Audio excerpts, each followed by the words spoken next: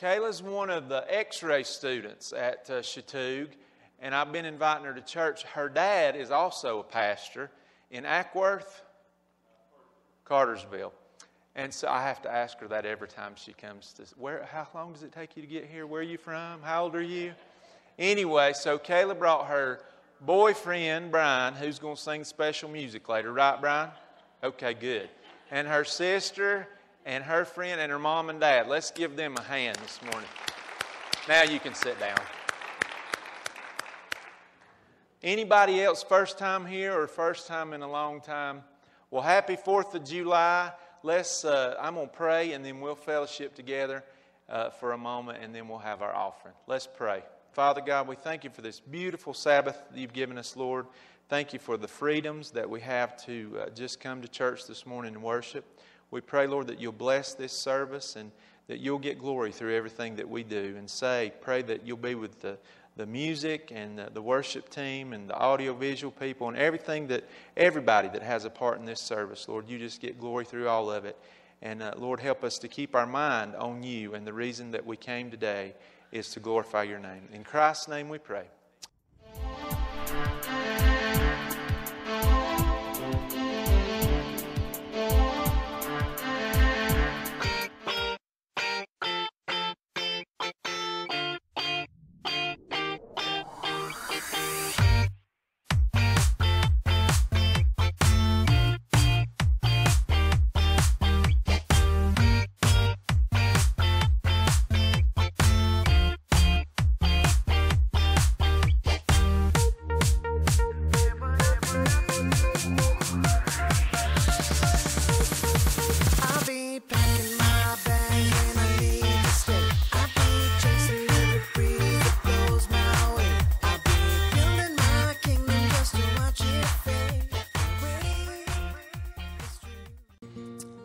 Thankful that the country that we live in today allows us to assemble in these places this morning. So we're going to sing a little bit about that. And I know you've probably heard this. It may have been since Bible school years ago or maybe in the classroom. I don't know. But we're going to sing this together. So if you know it, please sing out loud America the Beautiful.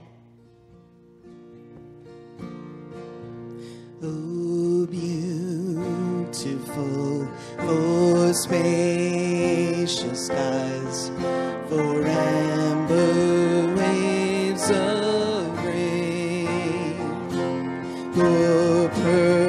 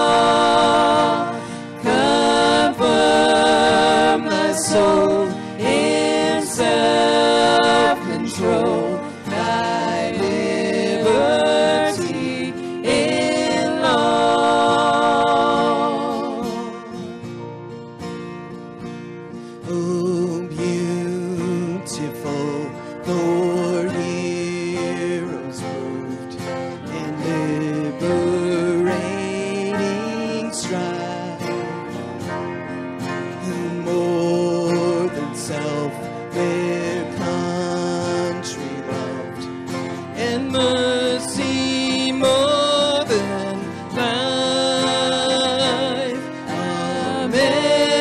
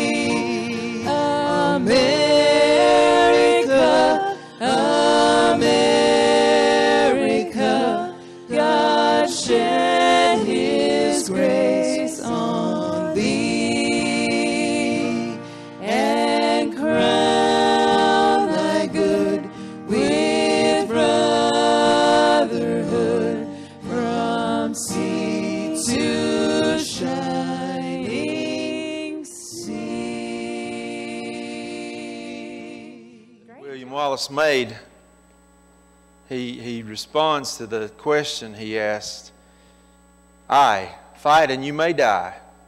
Run and you'll live, at least for a while.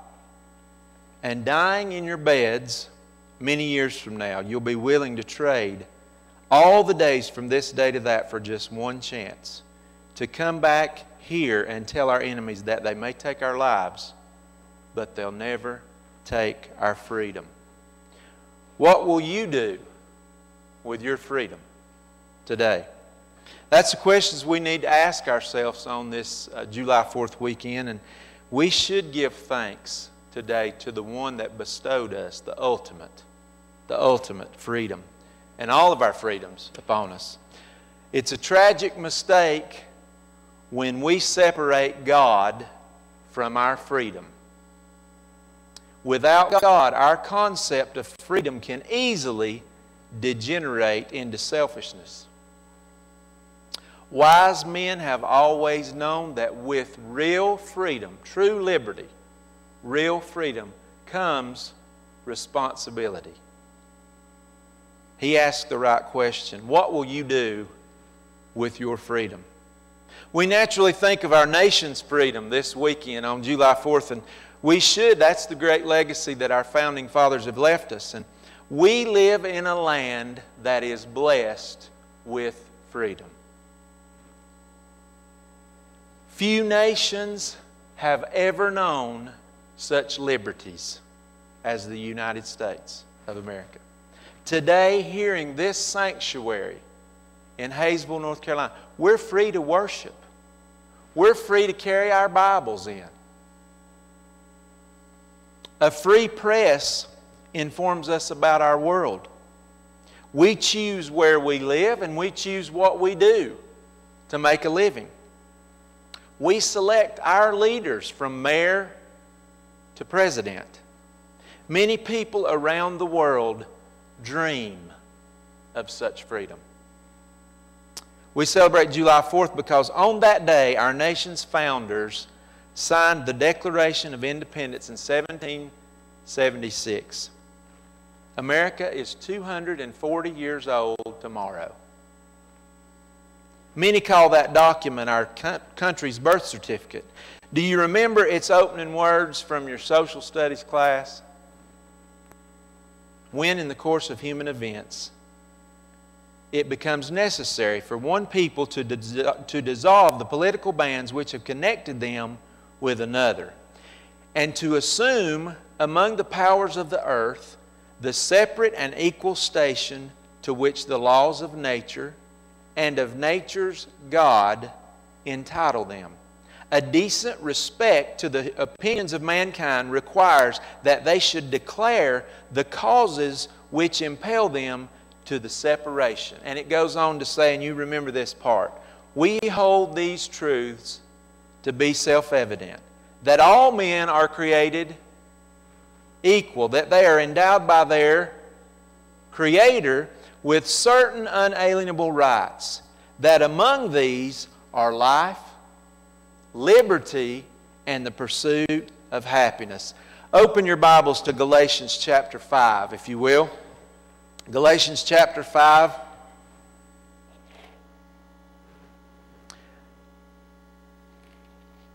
I'm going to begin in the 13th verse this is a letter that, that Paul wrote to the Galatians.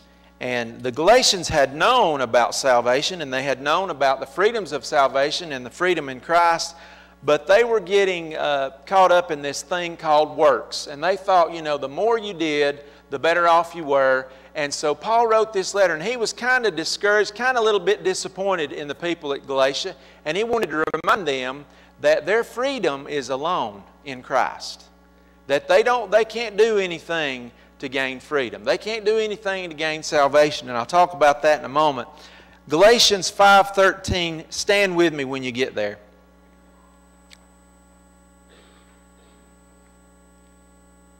it says in verse 13, For you, brethren, have been called to liberty.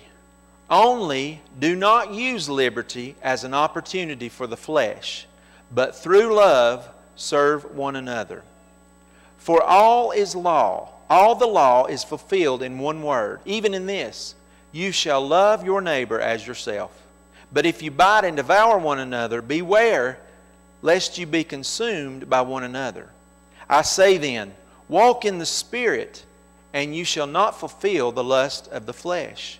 For the flesh lusts against the Spirit, and the Spirit against the flesh. And these are contrary to one another, so that you do not do the things that you wish. But if you are led by the Spirit, you are not under the law. Now the works of the flesh are evident, which are adultery, fornication, uncleanness, lewdness, idolatry, sorcery, hatred, contentions, jealousies, outbursts of wrath, selfish ambitions, dissensions, heresies, envy, murders, drunkenness, revelries, and the like, of which I tell you beforehand, just as I also told you in time past, that those who practice such things will not inherit the kingdom of God. But the fruit of the Spirit, the fruit of the Spirit is love, joy, peace, long suffering, kindness, goodness, faithfulness, gentleness, self control. Against there is no law. Look back up with me, verse 13. For you, brethren, have been called to liberty. Only do not use liberty as an opportunity for the flesh. We're free and we have freedoms, but, but freedom is not a, a, a license to sin.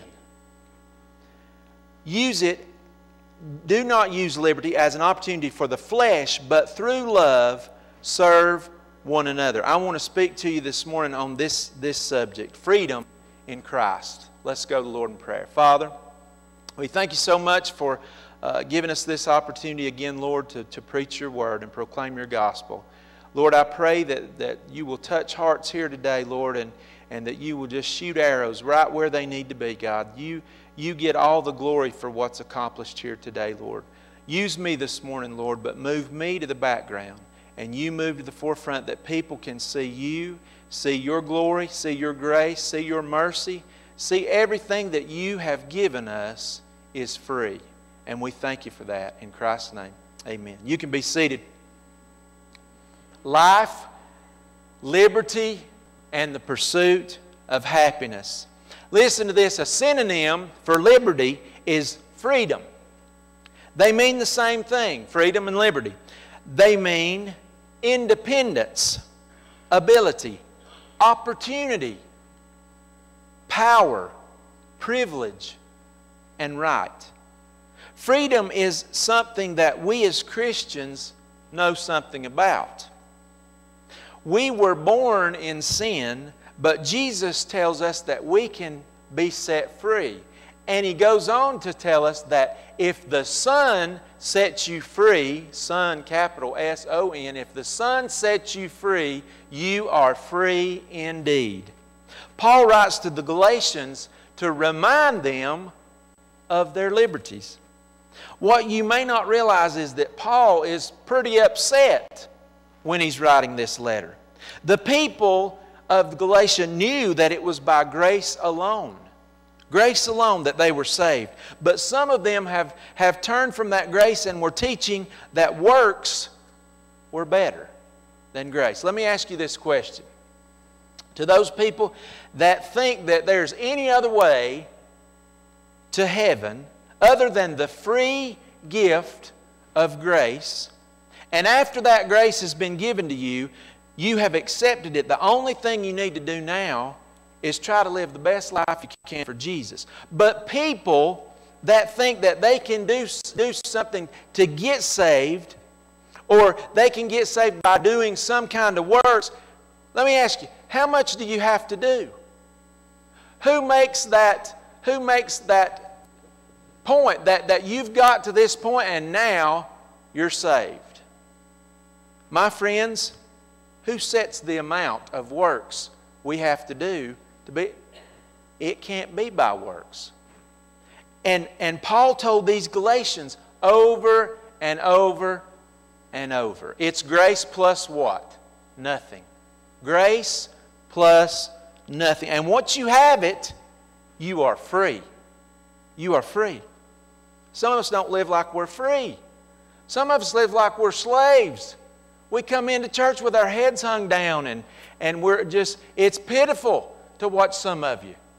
And then you come in and, and you try to put that smile on and you try to act like, okay, it's Sunday morning now, kids, we've got to act straight. I see you sometimes when you get out of the car, it's hilarious. My wife and I don't ride to church together. We've never had a fight on the way to church because we ride in two separate cars. If you're obedient and surrendered to a life led by the Holy Spirit, you are truly living in the freedom and the abundant life that, that Christ wants for you. But if you're still living, listen now, if you're still living the common, adequate Christian life and haven't really allowed the Holy Spirit to work in you and through you, listen, you're not living the life that Christ has for you. He's got so much more when you're obedient and when you let Him work in your life. When the Holy Spirit comes into your heart, you remember that day how excited you were. And how much, uh, I, I remember I called my grandmother and I told her, and I was so excited I wanted to call everybody in the family and tell them that I got saved. And if you were here a couple Sunday ago, uh, Sundays ago when, when Maddie Muston said with a big smile on her face that her mom and dad wouldn't take anything for. I got saved. She was excited. Do you remember that? We can be that excited today. 20, 30, 40 years later, some of you have been saved for 50 years, but we act like we're not free. If you're still living that common, adequate Christian life, God has more for you than you know. Now, because we're free, because we have freedoms, because we have liberties, there are things that we must realize. At the introduction, I told you that wise men know that true freedom brings about responsibility. What are we responsible for? Well, it depends. It depends on if we live by our flesh or if we live by the Spirit what we're responsible for. Now, I realize this morning that I'm not preaching to a bunch of murderers, and I'm not preaching to a bunch of people that worship idols, at least I hope not. But the variety of, of examples living by the flesh in today's world, living by the flesh in today's world, what does that mean? Some of these things, living by the flesh, have become acceptable to Christians. What are you talking about, preacher? For one thing, I have never seen a time, forgive me, you dads, where people are more worried about the position that their child plays on a team than they are worried about the condition of their heart. Amen. We want to cover up our outside the best way we can. And our inside is wrong. Because It's been so long since we got down on our knees and prayed and talked and had a conversation with the one who created us, with the one who gave us freedom. We're worried about everything else in the world but our inside. Not only that, and I'm not trying to get ugly here, listen, I'm just stating the facts. Our flesh is out of control in America. We have the freedoms to choose what we want, but most of us are a slave to our flesh. We have decided, and it has become acceptable in the United States. Look at other countries. Not to eat what, what's healthy, but to eat what tastes good. Not just some of the time, but all the time. There are so many, and I'm not trying to get ugly, I'm just telling you the truth. There are so many obese people in our country. If you don't believe me, go to the beach. And they don't try to cover it up either. It's a sin, and it's become accepted. It's become accepted to indulge not only in food, but in anything that makes you have that temporary, that temporary satisfaction. That, that whatever that, that temptation is, I'm just going to take it. Well, I deserve it. I've worked hard and, and I deserve it. It's a sin. And, and we live by our flesh. I was told this past week by another pastor that I have the freedom to choose. That means how I look, how I feel, what I eat, how I dress. I have those freedoms.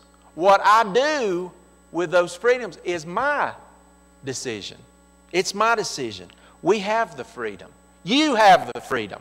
What will you do with your freedom?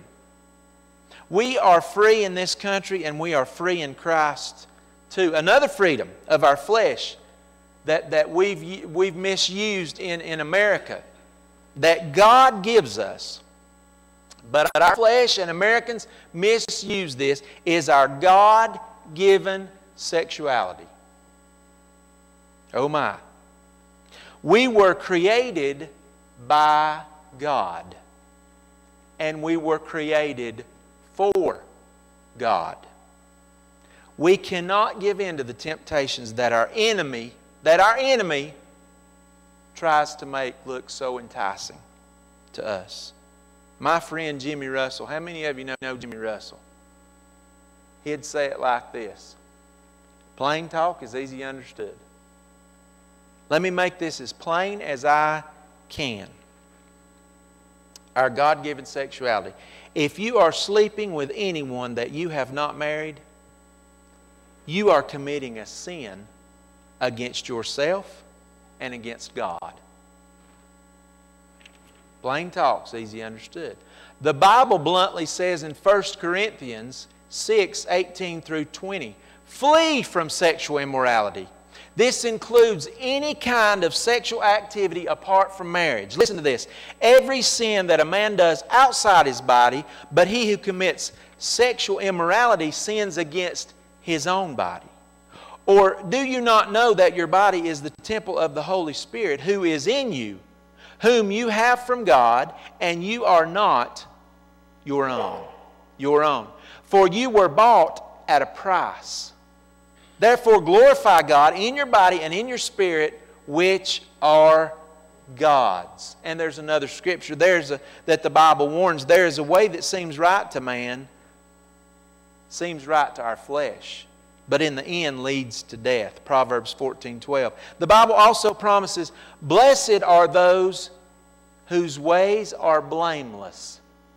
Psalms 119 1. The good news is, if you've committed any of these sins, and we have, and I have, the good news is He will forgive you. And you can, you can experience spiritual freedom and freedom like you've never known it before in Christ Jesus. spiritual freedom from that temptation. But you've got to do your part. You've got to ask Him to help you to live by the Spirit and not by the flesh. Paul wrote this too in Romans 7 18. And this is us, this is all of us. For I know that in me, that is in my flesh, nothing good dwells. For the will is present with me, but how to perform what is good I do not find. We have to ask Him to help us because we can't do it on our own. We can, we can try all we want to, but we can't do it on our own without God. We make, remember, we make a tragic mistake when we separate God from our freedom. We have freedoms. What will you do with your freedom? In New York Harbor stands the Statue of Liberty, a copper statue designed by Frederick Auguste Bartholdi, a French sculptor, and built by Gustave Eiffel. It was a gift to the United States from the people of France in 1886. The statue is of a robed female figure representing the Roman goddess Libertas, who bears a torch and a tablet evoking the law. Upon the tablet is inscribed the date of the American Declaration of Independence, July 4th, 1776. A broken chain lies at her feet. The statue is an icon of the freedom of the United States. It's an icon of the freedom that we have in the United States, a welcoming sight to immigrants arriving from abroad. Let me ask you a question. Wouldn't you like to be able to hold up your name, your testimony, your light for God? like the Statue of Liberty has done for so many years.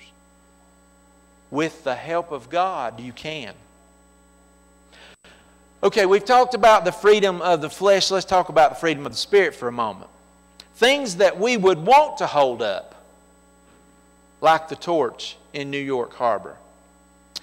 There are fruits of the Spirit that Paul mentions to the Galatians at the end of this chapter, verse 22 and 23 that they are free to choose these things instead of the fleshly things that he mentioned before. There's nine of them. There's nine of them. Say them with me love, joy, peace, long suffering, kindness, goodness, faithfulness, gentleness, and self control. Self control.